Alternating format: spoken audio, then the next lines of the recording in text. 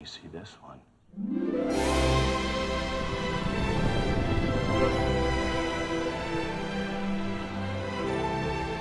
Freddie, is it all right that we're doing this? It's a company car. It's one of the perks. Okay.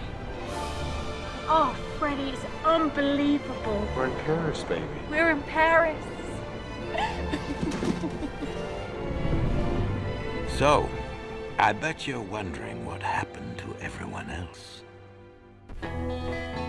That Christmas turned out to be one of the most successful ever.